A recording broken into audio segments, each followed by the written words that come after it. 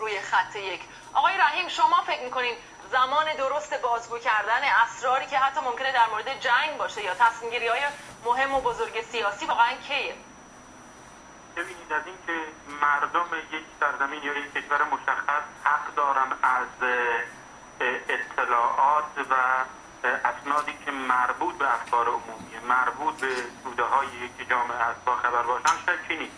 ولی این در نظام های بسته مثل جمهوری اسلامی ایران یا یه جامعه آزادی مثل امریکا خیلی متفاوته. شما اگر نگاه بکنین می‌بینید افشا شدن اسناد اخیر ارتش آمریکا و عملکرد ارتش آمریکا در افغانستان به بحث و گفتگو در میان مردم آمریکا حداقل در میان رسانه های آمریکا چه داخل آمریکا چه بیرون از آمریکا به یه بحث و گفتگو تبدیل شده. و رکن چهارم در واقع یه نقش بسیار بسزایی در این میان بازی می‌کنه. یعنی شما موافق هستین با انتشار یا نشر اسناد محرمانه جنگی روی وبسایتی مثل ویکیلیکس؟ محرمانه نبوده. اگه شما دقت کرده باشید خیلی پیش از افشا شدن این اسناد روزنامه نگاران مستقل کمیته ها یا نهادهای مدافع حقوق بشر می‌رفتن افغانستان گزارش تهیه می‌کردن. تحلیلگران سیاسی تو بی بی سی تو بی اوی تو رسانه های دیگه در واقع تو سی در این زمینه اظهار نظر می‌کردن و کم و بیش این مسائل رو در این رابطه صحبت می‌کردن و اظهار نظر می‌کردن.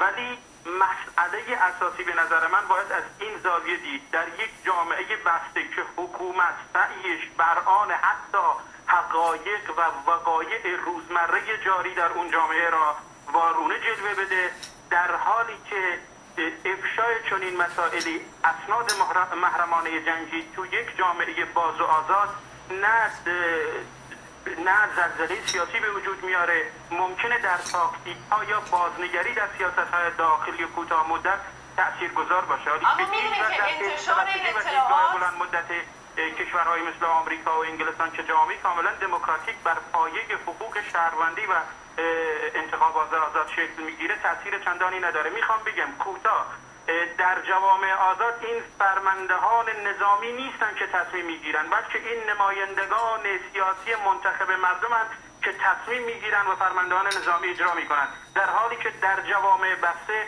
مثل ایران کاملا برعکس. شما میگین که نباید رهبران از این بابت نگران بشن ولی نشر همین اطلاعاتی که روی وبسایت ویکیلیکس منتشر شد خیلی رهبران آمریکا، افغانستان و عراق عصبانی کرد. در این مورد چی فکر می‌کنید؟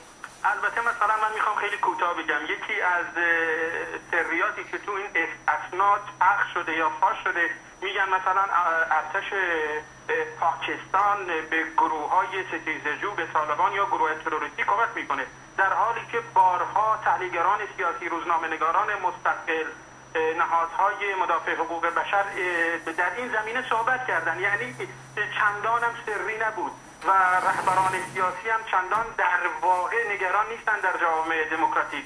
چون اینها منتخب مردمن مدام به مردم از طریق گوناگون گزارش میدن و در این زمینه بازم می‌خوام پافشاری بکنم که رکن چهارم و مطبوعات آزاد یه رول و نقش بسیار اساسی بازی می‌کنه. ممنونم از شما. اجازه با